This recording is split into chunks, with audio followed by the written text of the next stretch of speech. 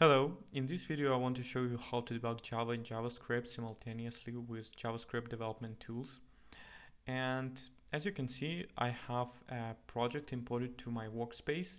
Basically, it's Spring MVC application. So I have some Spring controllers for handling my HTTP requests. And on front end, I have a Thymeleaf template engine with uh, jQuery for sending AJAX requests.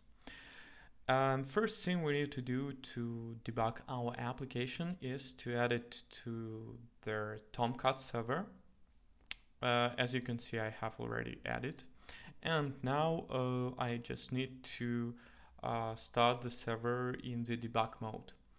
So as you can see, if I right click on the project, you can see that I have Chrome Chromium debugger menu item, which is disabled for now but it will be enabled once the server is started. So now you can see the server is started and I can uh, see that Chrome Chromium debugger is available. Basically, it will uh, start a new instance of Chromium in the debug mode. So let's do it. Um, and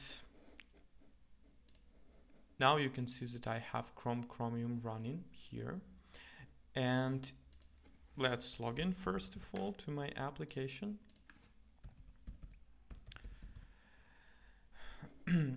okay, and now if I would like to put some breakpoints, let's do it in, in a couple of places.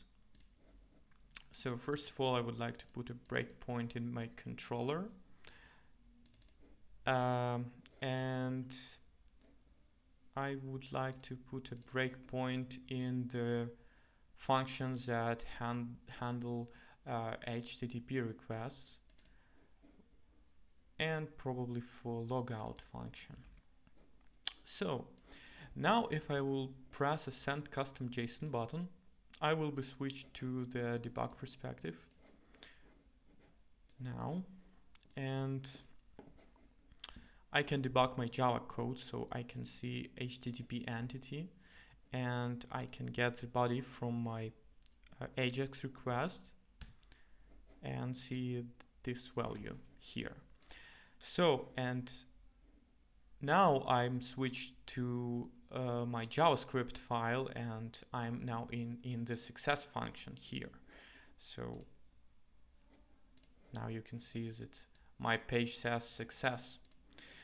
Also, if I do the very same thing one more time, I can actually change values on the fly, like add some exclamation marks in the end.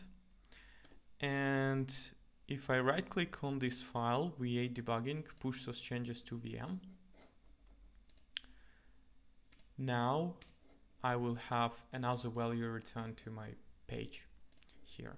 So the same is if I press sign out button, I will also be switched to debug perspective where I can see all my da data uh, variable and I can also change values on the fly. So that how it works for now. Thanks for watching. Bye.